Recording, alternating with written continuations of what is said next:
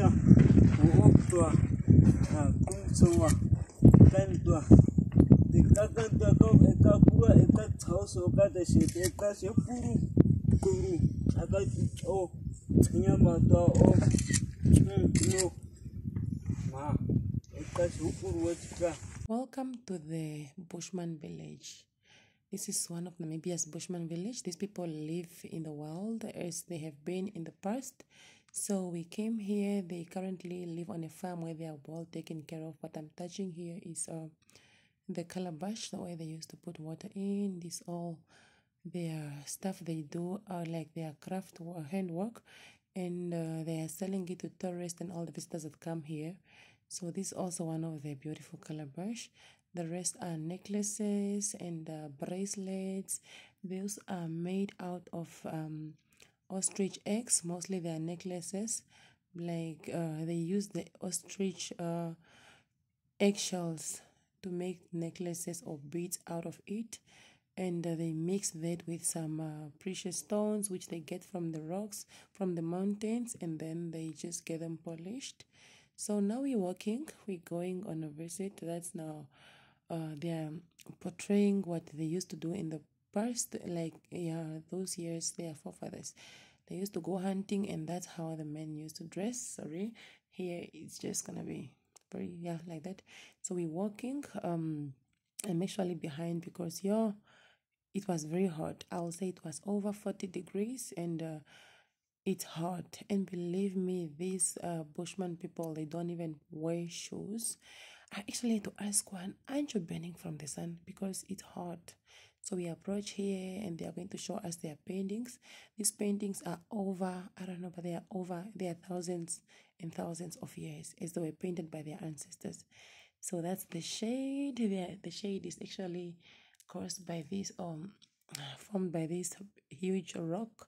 It's a natural rock and what he's pointing there is just uh the the the drawings or the paintings that are over thousands like decades of years so um he showed us what uh the drawings uh, portray and then uh, the, another guy here he goes in and interpret in english.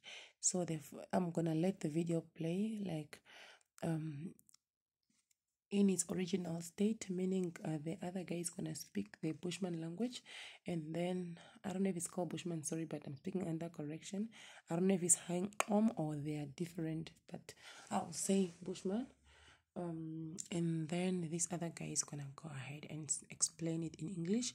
Please, with due respect, respect what he's gonna say. They are not. Uh, he, he's trying, and I, I rate him like nine out of ten, because uh, looking at their backgrounds and so on, not exposed to school education and extra, so he is actually doing very good for him.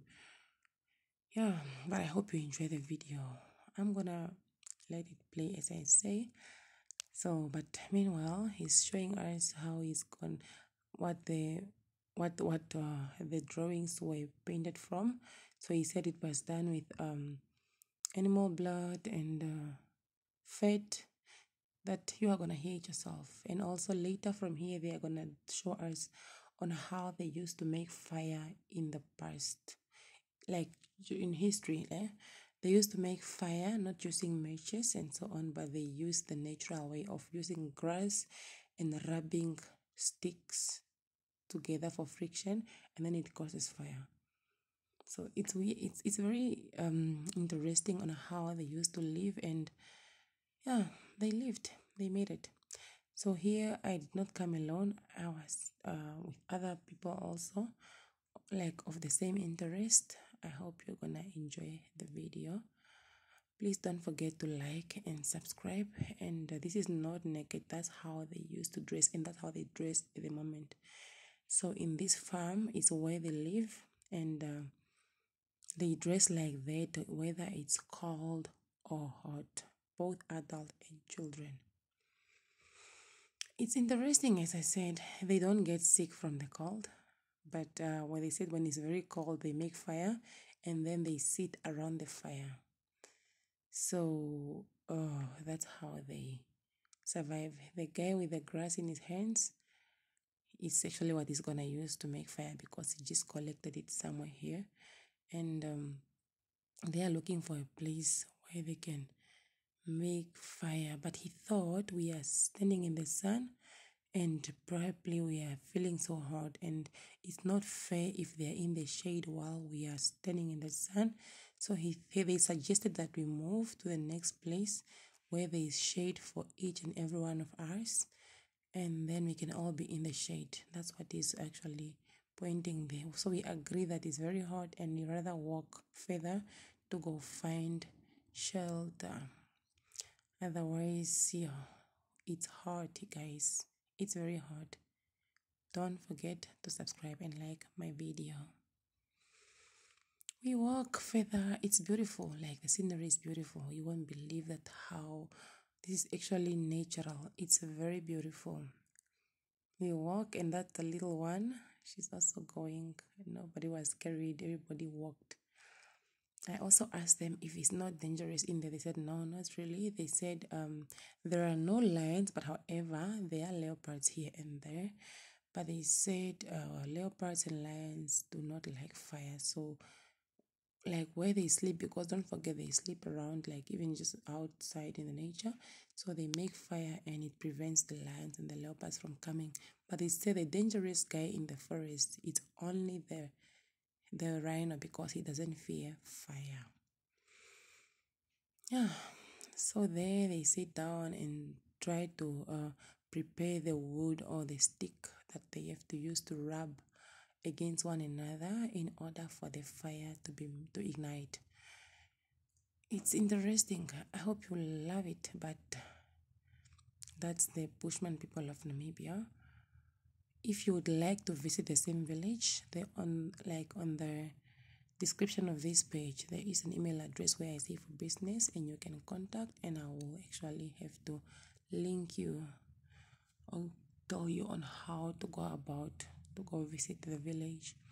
Of course, one has to pay for them to display or to take you through like on a tour because they are living on a farm, a commercial farm at the moment. But otherwise, everything I've heard from there is interesting. The Bushman people do not did not go to hospital in the past. They have some. Uh, they they use uh, some trees and shrubs as their medication uh, that's to treat whatever different type of diseases and infections so i will say these people lived happily and uh, healthily and it's also very scarce for one to find an obese uh, bushman because i think they eat minimum or they eat healthy. Unlike us that are now currently on weight loss uh, we are on our weight loss thingy because we we want to lose weight.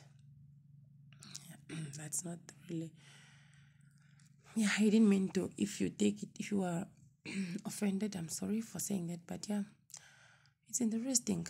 So they are gonna gather the wood there and then they just make I mean the grass and then they try to rub the wood together and they are gonna make fire. I'll try to zoom it uh, so you can be able to see what exactly is happening.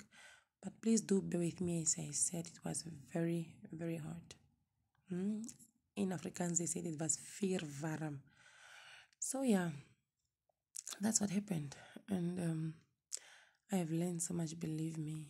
They they actually the, the thing the tiny thing behind the man uh it's um it's like a bag where he uses to carry his um, bow and arrow, and then as well as some grass during the rainy season, um, like when he's on a hunting spree. So he's gonna keep some grass in there to prevent it from getting wet. And then if he hunts something or he catches like an animal or yeah, whatever the English word is, he's gonna make fire and just make something for him to eat. But here they are busy.